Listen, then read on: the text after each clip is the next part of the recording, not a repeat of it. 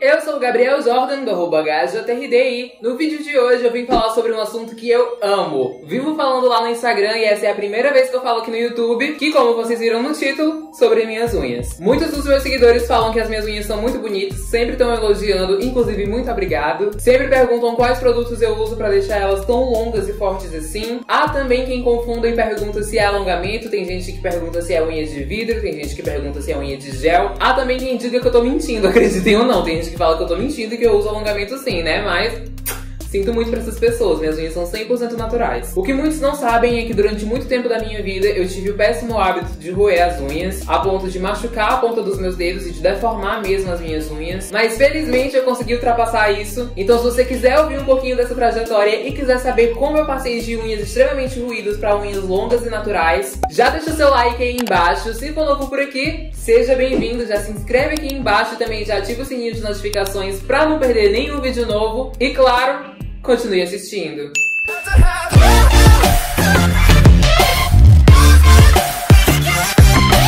Então, eu vou começar dando um pouquinho de contexto para vocês rapidinho. Quando eu era criança, eu era bem tímido, o que me causava bastante ansiedade. Isso fazia com que eu descontasse todo o meu nervosismo nas minhas unhas. Eu ruía muito as minhas unhas o dia inteiro. Acontece que quando eu cresci, eu superei a minha timidez e eu já interagia com as pessoas normalmente, assim como todo mundo faz não tinha mais ansiedade, mas infelizmente eu não tinha superado ainda o vício de roer as unhas. A minha mãe sempre foi muito atenta no meu comportamento, então ela percebia já que eu roía as unhas bastante e ela tentou parar isso. Eu lembro que ela passava uma base transparente na minha unha que tinha um gosto super amargo e quando eu colocava a mão na boca pra roer as unhas, eu literalmente tirava imediatamente porque o gosto era horrível. Se eu não me engano, a base era até da Avon, mas faz muito tempo já, gente, eu posso estar enganado. Só que infelizmente que essa base que ela comprava e ela mesma aplicava em mim foi descontinuada então, depois de um tempo, eu acabei voltando a roer as unhas quando eu cresci, né? Enfim, cresci, passei a minha adolescência quase inteira, né? Porque eu tô no final da minha adolescência agora. Mas eu passei a minha adolescência quase inteira roendo as unhas. Eu vou até deixar algumas fotos aí passando na tela pra vocês verem. Gente, desculpa se vocês acharem as fotos muito feias ou então muito nojentas.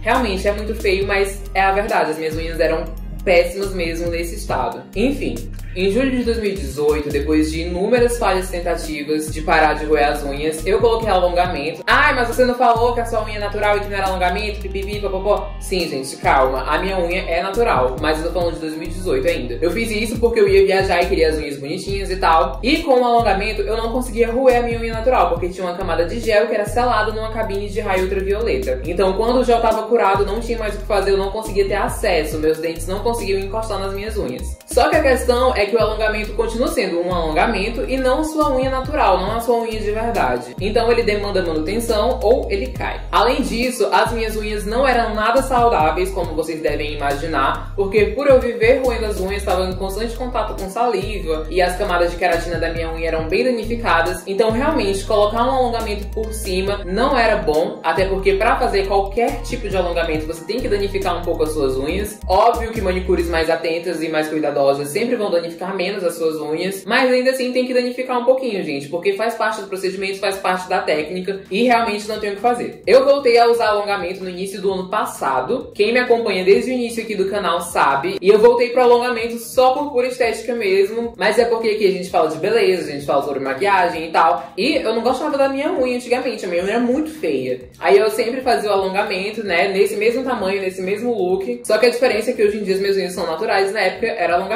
Fui usando alongamento até mais ou menos no meio do ano passado, só que como eu falei pra vocês, a minha unha não era saudável. Então, além dela já ser fina e quebradiça, a manicure tinha que lixar ela para poder construir o alongamento em cima e tal. Isso acabava danificando mais ainda a minha unha. Na manutenção, quando acontecia de precisar refazer uma unha, ou então de tirar todas e fazer de novo, danificava mais ainda a minha unha natural. Então, realmente, era muito agressivo ao longo do tempo. E foi aí que no meio do ano não teve mais condições de continuar usando alongamento e eu voltei às minhas unhas naturais. Muita gente ficou chocada no Instagram porque eu parei de alongamento e eu sempre falava lá. E acabou que eu fiquei com a unha toda natural, porém toda danificada e fraca. De julho até outubro do ano passado eu esperei o comprimento da minha unha inteiro crescer, né? Do leito dela até a ponta do dedo. E foi aí que em outubro eu decidi que eu teria unhas fortes, custasse o que custasse. Foi aí que eu comecei a fazer as minhas unhas semanalmente e usar alguns produtinhos que eu vou mostrar pra vocês nesse vídeo. Eu guardo todos os meus produtos de unhas dentro dessa caixinha. Não são são poucos produtos, mas eu juro que você não precisa de tudo isso. Isso aqui é por exagero mesmo e porque eu gosto de fazer estoque.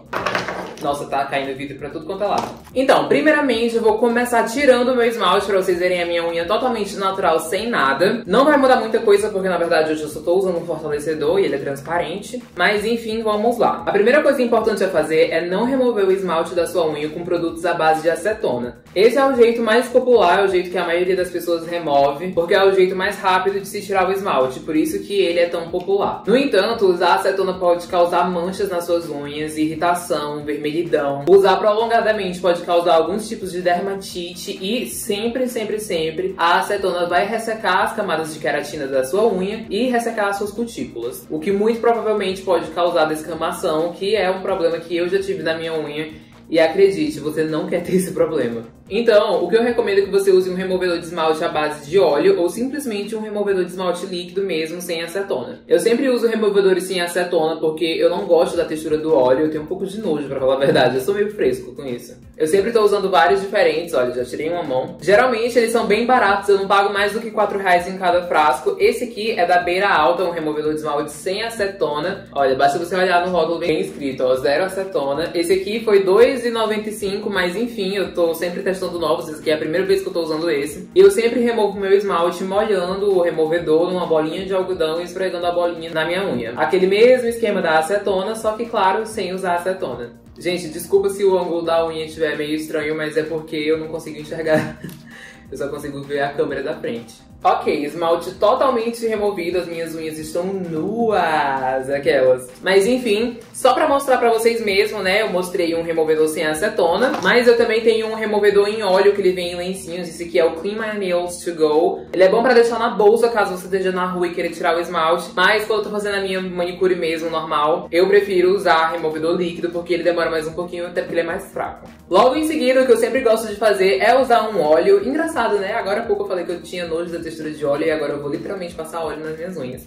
Mas enfim, diferente, né? Um óleo que eu uso há bastante tempo, mesmo antes de eu decidir deixar as minhas unhas crescerem, é esse aqui da Bela Dona Cosméticos. Vou aproximar aqui na câmera pra vocês. Vocês sabem que eu gosto do produto porque o rótulo dele tá completamente acabado. Mas eu juro que eu vou deixar uma foto na edição de um novo com o rótulo inteiro pra vocês verem, caso vocês tenham interesse vão atrás. Esse óleo eu não lembro quanto eu paguei, mas no site tá listado por R$10,99, então é bem acessível. Esse óleo serve pra hidratar e fortalecer as camadas da unha. Ele tem argan, tem ômega 6, depantenol, cravo, vitamina E, enfim, várias propriedades legais para você aplicar na sua unha. Eu sempre uso ele entre uma esmaltação e outra, antes de pintar a unha mesmo, e só venho massageando por alguns minutinhos para garantir que pegou na unha inteira. Se você costuma tirar a cutícula, esse produto não promete amolecer a cutícula, mas eu sinto que ele deixa as minhas cutículas um pouco mais macias. Então, quando eu cutilo as minhas unhas, eu já cutilo durante esse processo, mesmo de aplicação do óleo. Eu venho massageando as minhas unhas com esse olhinho por alguns minutinhos, só para garantir mesmo que pegou em 100% da unha e que a minha unha vai ficar hidratadinha, bonitinha. Vou aplicar aqui na outra mão e repetir o processo. E normalmente eu venho aplicando aqui da cutícula, né, do leito e venho só com o restinho do pincel até o final. Eu concentro mais no leito por nenhum motivo em particular mesmo. Eu só sempre faço assim, tô acostumado já. Venho novamente massageando, eu gosto de massagear a unha inteira, só para garantir mesmo, gente, que tá tudo perfeito e que a minha unha inteira tá recebendo hidratação e fortalecimento. Como eu falei, eu gosto de massagear e deixar esse produto alguns minutinhos agindo, então é exatamente isso que eu vou fazer e daqui a pouco eu retorno. Então, agora eu vou vir com o algodão, só tirando mesmo o excesso de produto da minha unha, venho só passando o algodãozinho bem de leve, só para não ficar muito oleoso, sabe? Enquanto a gente vai seguir os próximos passos. Normalmente eu cutilaria as minhas unhas agora, mas como eu cutilei recentemente, eu não vejo necessidade e também não tem nem pele para tirar aqui. Mas eu vou te dar dois conselhos caso você vá cutilar as suas unhas nesse momento. A primeira de todas é: não mergulhe as suas unhas em água para amolecer a sua cutícula. A água, na verdade, ela enfraquece a unha porque ela expande as camadas de queratina da unha, então ela fica quebradiça mais fácil. Então a minha dica é que você compre amolecedores de cutícula em óleo. Tem amolecedores de cutícula em caneta, tem outras que vêm em vidrinhos assim também, um frasco parecido com esmalte. Então eu recomendaria você usar esses produtos e sim tirar a sua cutícula, né? E a minha segunda dica é para você aí que por algum acaso nunca fez as suas unhas ou então nunca cutilou ela enquanto você fez, não tire a sua cutícula nunca, se você tiver oportunidade na sua vida. Só passa um olhinho nela e empurra com uma espátula pra unha, não tem necessidade de você tirar sua cutícula, porque dessa forma você vai ficar com ela natural, fininha e bem empurradinha para trás, fica lindo. Eu nunca tirei a cutícula quando eu era pequena e tal, e nada do tipo, mas as minhas cutículas são extremamente grossas porque eu arrancava elas com os meus dentes, como eu falei pra vocês, eu ruía as unhas e eu também ruía as cutículas. Então acabava que danificava muito e elas crescem bem grosseiras hoje em dia. Então é por isso que eu sempre que eu faço a minha unha eu tiro ela. No caso eu tirei recentemente, então não tem como eu tirar de novo para vocês, né? Mas a dica é essa, o princípio de você cortar a sua cutícula com alicate, não necessariamente ela vai engrossar, não tô falando muito da espessura, mas ela vai nascer de uma maneira mais grosseira ao longo dos anos. E agora chegamos na parte onde eu revelo o meu segredo. Fortalecedores de unha, mas não qualquer fortalecedor. Eu tenho vários fortalecedores de unha, você nomeia, eu tenho. Eu tenho Ludurana, tenho Risqué, tenho OPI, tenho Blunt. Eu testo muito fortalecedor, eu sempre tô comprando novos, todos são bons em suas particularidades, mas eu vou logo falar qual é o que salvou a minha unha. Esse vídeo não é patrocinado pela Impala, bem que eu queria que fosse, porque o tanto que eu falo dessas bases deles, essa linha de tratamento, para os meus amigos que querem deixar as unhas crescerem é incontável. Então, pode me dar os meus 10% de comissão, Impala, que eu quero.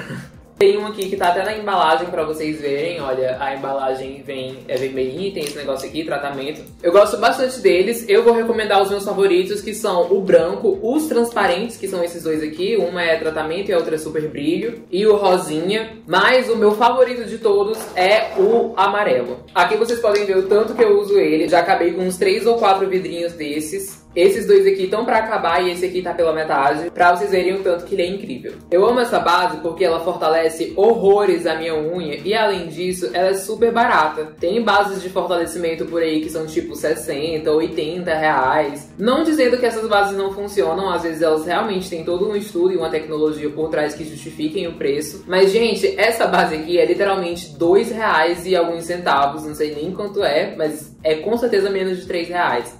Mentira, gente, é mais de 3 reais sim. São 3 reais e 50 que eu paguei nessa base. Todas elas custam a mesma coisa. Pelo menos no lugar onde eu compro, né? Mas tem revendedor por aí que vende elas por 2,70. Então varia muito do lugar onde você mora e do lugar onde você compra. Eu sinto que essa base fortalece praticamente instantaneamente a minha unha. Por ela ser amareladinha, a sua unha vai ficar levemente mais amarela, mas ela não mancha a sua unha, tá? Mas, gente, compara a cor da minha unha natural, que tá sem nada aqui, com a cor da unha com a base aplicada. Não muda muita coisa se você fizer uma camada normal, sabe? A minha unha naturalmente já é um pouquinho amarelada. E, gente, pura diversão. Fortalecedor baratíssimo, baratíssimo mesmo. E foi o que mais funcionou pra mim. Como eu disse para vocês, durante o ano de 2019, a coisa que eu mais fiz foi testar fortalecedor de unhas. Testei da Ludurana, testei da Risqué, Impala, Mavala, Granado. Testei muita coisa, gente. Comprei praticamente a farmácia e as lojas de esmalte inteira. Mas se eu não me engano, a primeira vez que eu usei esse aqui da Impala foi em agosto e eu senti uma enorme diferença nas minhas unhas. Como eu falei para vocês, eu abandonei os alongamentos em julho, né? E tive que esperar as minhas unhas se regenerarem. E em outubro, que foi quando eu decidi que eu queria ter unhas longas e enormes do tamanho do meu alongamento, só que sem usar alongamento, foi que eu passei a usar essa base fortalecedora da linha tratamento da Impala. Sinceramente, o que eu posso te dar de dica de unha forte é isso, mas é claro que eu vou terminar as minhas unhas aqui com vocês. Normalmente eu não tiro muito comprimento das minhas unhas, exceto quando elas estão um pouco maiores do que isso aqui, porque esse aqui é o tamanho padrão das minhas unhas, é nesse tamanho que eu gosto. Não gosto delas menores, não gosto delas maiores. Muitos dias eu sempre tiro o esmalte das minhas unhas e eu passo um fortalecedor, nem sempre é esse amarelo. Às vezes eu passo o incolor, ou então a base vitaminada. A super brilho eu gosto de passar por último, mesmo ela sendo de tratamento, mas se você quiser só um super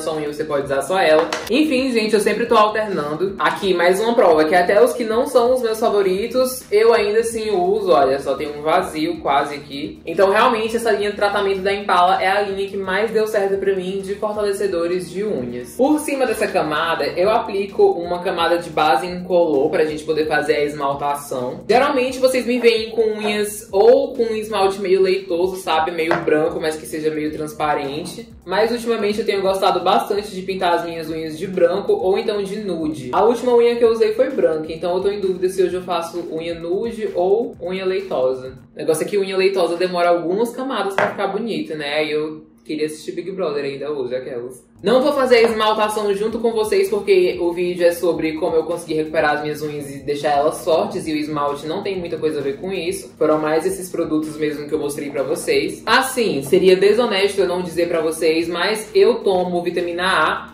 não por questão das unhas, na verdade, quem me passou a vitamina A foi a minha dermatologista, foi uma questão da minha pele. Mas a vitamina A também ajuda a deixar as suas unhas mais fortes. Mas claro que você precisa ter todo esse cuidado extra com os produtos e cuidar direitinho das suas unhas. Sempre fazer a sua unha, porque você não pode fazer a unha só uma vez e deixar por isso mesmo querer que ela fique impecável. Você tem que fazer a manutenção da sua unha, você tem que cuidar dela, você tem que lixar, cutilar, hidratar, fazer tudo direitinho, senão, gente, não adianta. Você tem que investir o seu tempo para poder ter unhas bonitas. Dinheiro nem tanto, porque a maioria dos produtinhos são baratinhos. Assim, e outra coisa, falando sobre a vitamina A, eu só tomo porque a minha dermatologista me indicou e me receitou. Eu acho que você não pode comprar vitamina A sem receita e também não endosso, não recomendo você estar tá comprando essas vitaminas de farmácia, esses multivitamínicos e tomando sem recomendação do seu médico. Então converse com o médico seu antes de tomar quaisquer desses tipos de produtos. Vou esperar minha unha dar uma secada e depois eu volto para finalizar o vídeo com vocês. Tô de volta já com as minhas unhas finalizadas. Pra quem tiver interesse, essa cor aqui é a cor Bali da Risqué. Ele é um nude rosado. E é isso aí, gente. Espero que vocês tenham gostado da minha trajetória e das diquinhas que eu dei. Comenta aí embaixo se você já superou esse problema de ter unhas ruídas ou se você passa por isso. Compartilha a sua história aí, que eu quero ler. Tenho certeza que quem tá assistindo esse vídeo também pode achar interessante. Se esse vídeo foi útil pra você, deixa o seu like aí embaixo. E não esquece de compartilhar o canal. Mais uma vez, se você for novo por aqui, já se inscreve aqui no canal e ativa o sininho de notificações pra não perder nenhum post. Todas as semanas tem vários vídeos novos aqui no canal, então fica ligado. Além disso, não esqueça de me seguir nas minhas redes sociais. Eu sou GarajaTRD no Instagram, Twitter e TikTok. Todas as minhas redes sociais são arroba GarajaTRD, então vai me seguir em todas elas. Com tudo isso dito, eu acredito que esse vídeo já está chegando ao fim. Eu sou Gabriel Jordan, muito obrigado por assistir e esse foi o vídeo de hoje.